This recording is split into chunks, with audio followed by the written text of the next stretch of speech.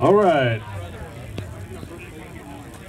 Next team coming to the scale, man, I want to talk to. We're going to talk about some fishing rods and reels. Mr. Noah St. Pierre had the pleasure of fishing with boat captain Mike Scott.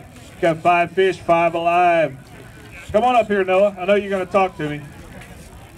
You see that good-looking rack at 13 fishing over there? How do you like those products? I know, I know you fish them all the time. You can like, I don't know. Love nice and smooth.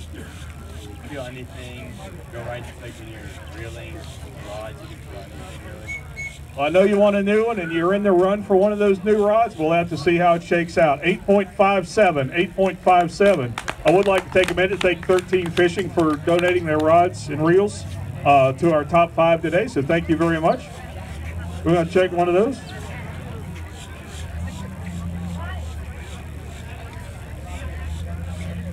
Any boat captain that has not seen Patty needs to do so right there. Or Jennifer right there. See one of my two wives. Either Jennifer or Patty.